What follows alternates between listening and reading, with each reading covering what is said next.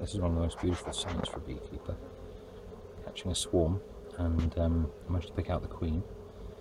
Put the queen inside a brand new hive body here and then tipped out the rest of the bees onto this sheet and as you can see once they've got the scent of the queen inside all those uh, at the top start fanning pheromones and everything else just follows them up beautifully.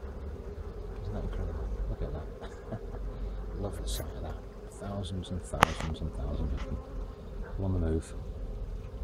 I did put the piece of wood up as a ramp, but um, they all preferred to climb up this piece of orange cloth for some reason. It's, uh, there's hardly even room for them to get in through the entrance. They've been at this for a good hour or so now. This was a, a huge primary swarm. I know that because it was a marked queen. So um, it wasn't a cast with a virgin queen, this was a primary swarm, the old queen being kicked out of the hive and taking with her um, probably a very large proportion actually in this case. Now there is a sad part to the story.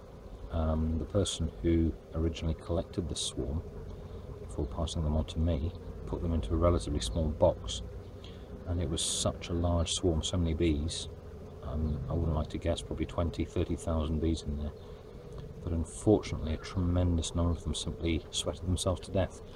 So if I zoom out a little bit and show you a horrible sight really, pretty much all of those down there are dead. All dead, with a few moving ones amongst them.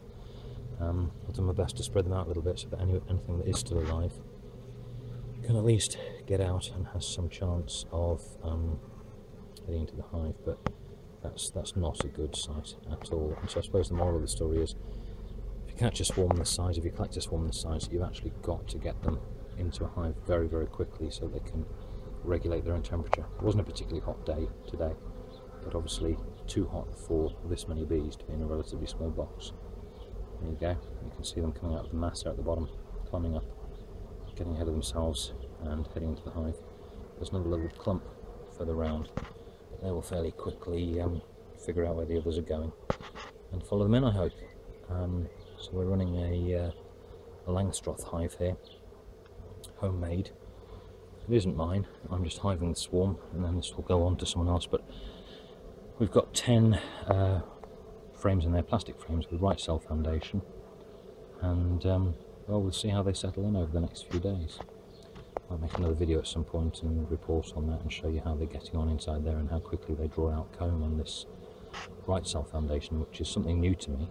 Um, have a quick glance around around the garden here.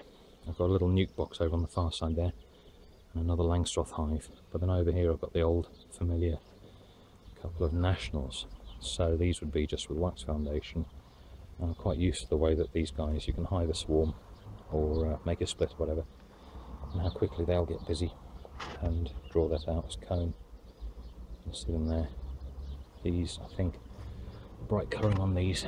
These are um, a bit of a, a, hybrid between Italian the darker bees. Um, you can see them coming back here. There's a lot of pollen coming in at the moment, so I'm not quite sure where they're foraging, but you can see a bit of a bit of a dance going on there, and bees meeting each other at the door. Beautiful sight. Okay, so we'll come back to this in a couple of days and we'll just see how they're going on. And uh, it's quite late in the evening now, so they're going to need to speed up this process getting into the hive there, which which they're doing. They'll be alright. To be honest, it's forecast a mild night, so I have had the situation before where swarms have actually stayed out on, on the fabric, on the blanket all night, and um, they've still been in good form and managed to get back in in the morning. So I'm not unduly worried about this. Bottom line is, harsh as this sounds, the queen's in there.